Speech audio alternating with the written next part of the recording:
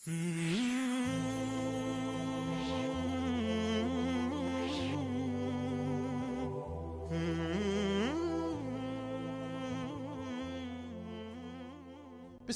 الرحمن الرحيم الحمد لله رب العالمين الرحمن الرحيم مالك يوم الدين اللهم صل وسلم على محمد وعلى ال محمد كما صليت على إبراهيم انك حميد مجيد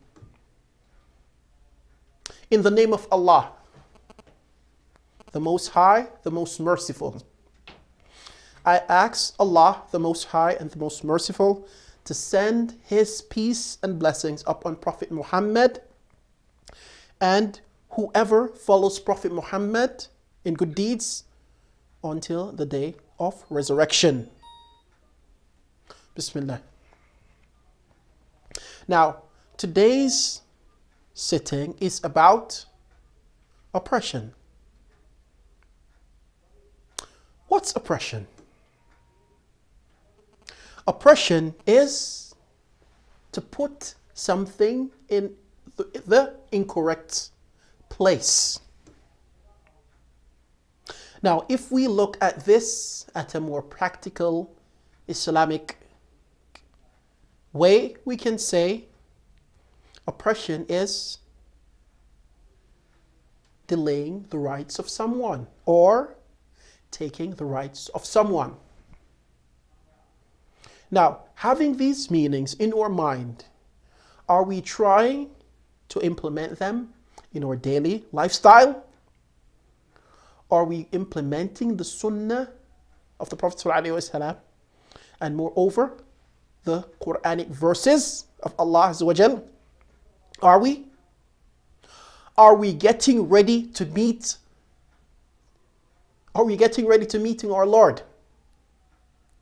Are we getting ready to be judged by Allah the Most High? Are we living a life of non oppression? Now, the reason why I thought of this topic today is things that I'm seeing, things that I'm seeing in life that are the exact meaning of oppression. Now, you have many hadiths where the Prophet ﷺ warned us against oppressing others.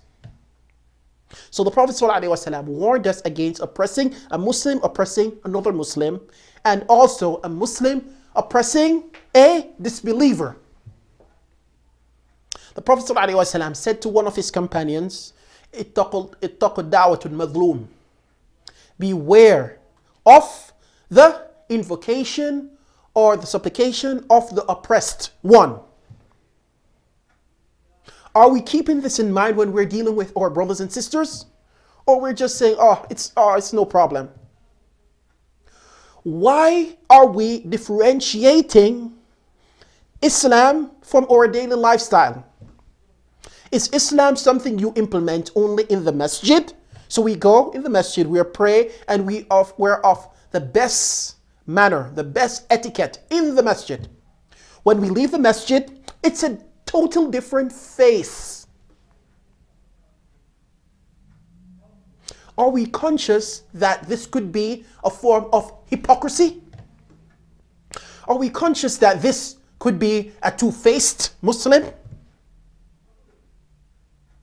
I'm advising myself first and then you, my Muslim brothers and sisters. We have to fear Allah every minute and we have to implement Islam in our lives all the time, not only in the masjid. In the masjid, we pray, yes. Outside the masjid, we do what the Sunnah and the Quranic ayahs have advised us to do.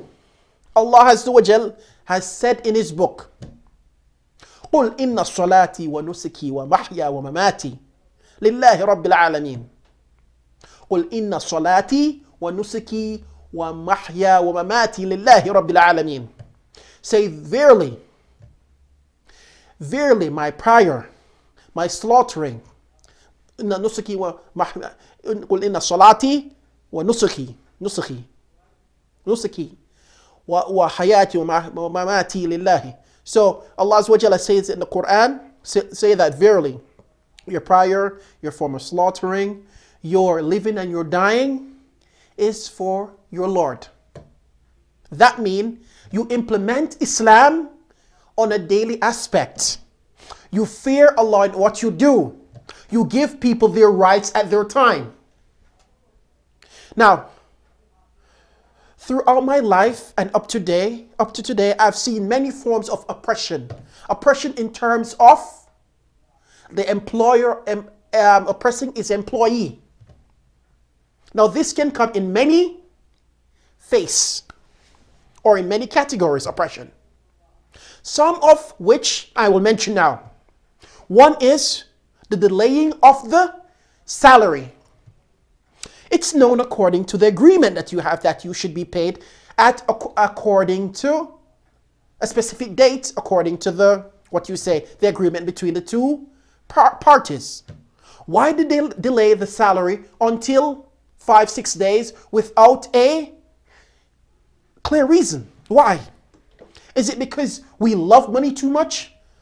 Is it because we don't believe that we'll go back to Allah, Allah Azawajal? Is that the case? Do we believe that we're just here to have fun and to do as we like? We go to the masjid and we pray, yes, but when we leave the masjid, it's a different face. Why are we putting our desires over the sunnah? Why are we loving how we feel more than loving the way of al-Islam? Why is this? Are you giving account for your actions before Allah judges you, judges you on the day of judgment? Now, I've seen a situation, a personal situation, and I'll give you the details now. It's a story about a man. I'll not mention the nationality, and I'll keep the information general. This guy, and Allah knows best his situation. This guy at a young age, studied in a country and he gained a, a, bachelor's degree in a special science, right? He came back or he went to another country and he worked. While working, he was given the position of a manager in a big oil company. Big oil company. So that means he was work, working and making money. Now, to my understanding, this guy had a high rank wherever he worked. He was the boss in every company. And this was throughout his life. Now, the guy has gotten older and his life has totally changed. Changed in, in a dramatic way. He has, is no longer able to work, that's one. He's not making money. And he has accidents now and then, physical accidents where he falls and or hurts himself or injures himself now and again. Now, his situation has deteriorated so much that whenever he lives in a place, the so-called landlord kicks him out or takes him to the police in order to force him to pay for the rent. Now, I'm saying to myself, this guy was such and such manager in such a place. Why his situation has changed so much to the extent that he's being thrown out of a place at the last end of his life. He's not making money. Now, one has to ask himself was this guy an oppressor? Did he used to fear Allah when he was managing people? Was he constant in his fearing of Allah all the time when dealing with his employees? Was he? Or did he do, did he do something wrong in his life and someone made a supplication against him? Did this happen? One has to be conscious of this. The Prophet ﷺ and even the Quran speaks against oppression. Even if the guy is not a Muslim, we should have respect for him. Because what? He can supplicate to Allah Azawajal and Allah answers his prayer. Even the Quran, uh, Allah Azawajal says, Allah. Isn't the curse of Allah upon the oppressor, oppressors? Now, when will we start living and implementing the sunnah in our life? When will we start keeping away from oppressing others? And there's a prophet, there's a saying of the Prophet ﷺ, the person, the muflis, you might have heard of this hadith, but repetition, repetition is for emphasis. Now, when the Prophet ﷺ said to his companions, Atadrun man al muflis, he said to the companions, Do you know who is the one that doesn't have any dinar? He's the poor guy, we would say in, in our layman terms. So the companions responded, Yes, we know the person that is a muflis, the one that doesn't have any money or any, any, any monetary means.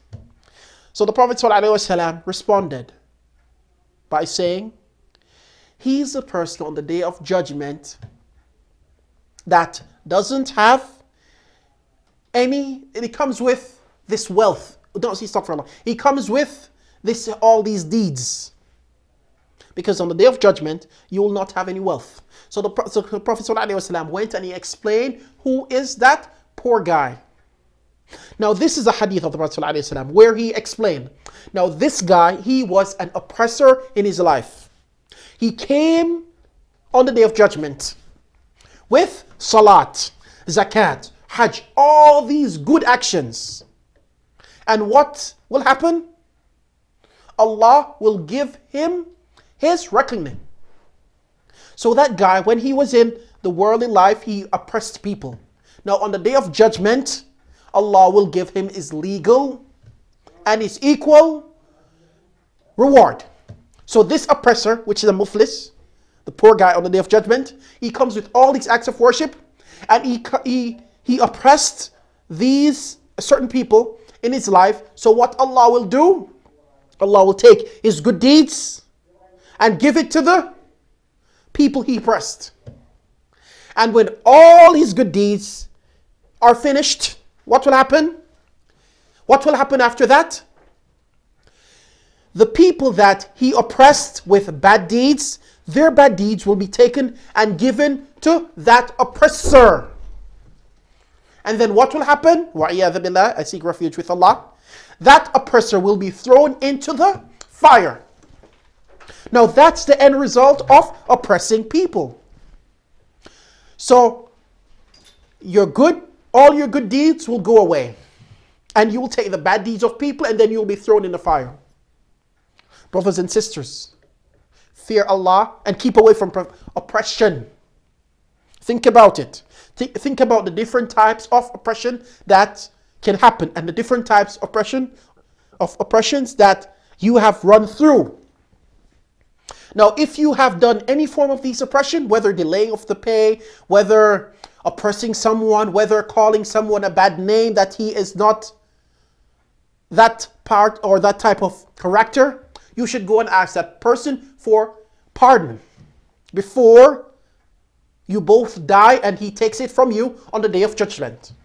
We have to be conscious about this. And so forth. So, oppression, oppression comes in many categories and we have to be clear about them. We can do research more about the issue. And we, we must be judged justful to each other in the way we act. So be just to our brothers and sisters to be just to the people that are working under us. Be just to the people that we're given power over. Give them their rights. Go with the contract that you have been mixed with or been, uh, um, how should I say, that you have agreed upon. Allah says in the Quran, يا أيها الذين آمنوا أوفوا بالعقود. That's a verse. O people that believe, fulfill the conditions.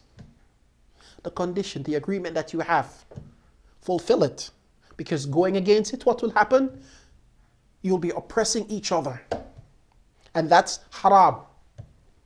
And we don't want on the day of judgment our prayers, our fasting, all these actions that we work so hard for in this life to go away from us just like that. And then billah. I seek refuge with Allah. Then we go to the fire. So this is a time to make your deeds correct. If you have done any form of this oppression in your life, go first seek forgiveness from Allah, the Most High. Then you go and ask a person to pardon you. And you make it up to him because today you have actions and no reckoning. Tomorrow you'll be reckoned and no actions. So be conscious of this. Be conscious of this throughout your life. Ask yourself on a minutely basis Am I fearing my Lord the way that the Quran has said and the way the Prophet Muhammad has lived his life? Are we keeping away from oppressing? Are we keeping away from slandering? Are we keeping away from backbiting? Are we keeping away from of from what should I say spying and all these un-Islamic things? Are we? Keep in mind these hadith that the Prophet ﷺ has advised us in order to be on the good side or on the good path until we meet Allah the Most High. Thank you for listening. والحمد لله رب العالمين والصلاة والسلام على رسول الله السلام عليكم ورحمة الله.